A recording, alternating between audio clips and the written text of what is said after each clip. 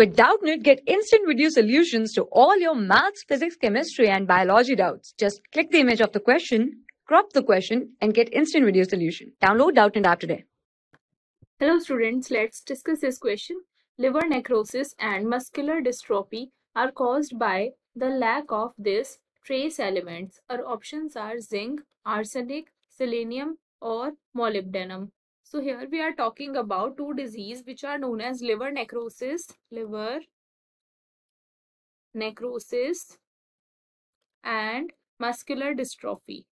Muscular dystrophy. So it is said that these diseases are caused by the lack of a trace element in the body. Trace element. So first of all, we will learn what are trace elements. These are the elements which are present in our body in very low amount. Present in our body in very less amount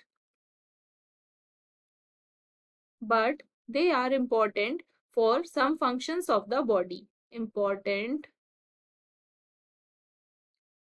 for various metabolic processes. And a lack of these trace elements can cause a number of diseases. So liver necrosis and muscular dystrophy, they are caused by the lack of selenium in the body which is associated with increased risk of cardiovascular diseases. Cardiovascular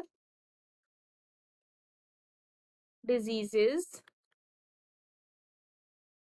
So what happens that selenium along with vitamin E, selenium along with vitamin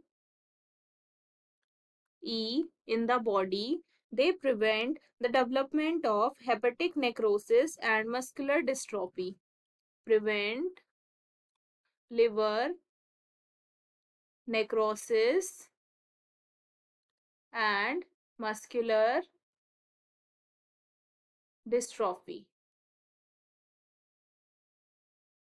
Selenium can easily be obtained from non-vegetarian diet that is from meat of liver and kidney as well as from seafood. Seafood.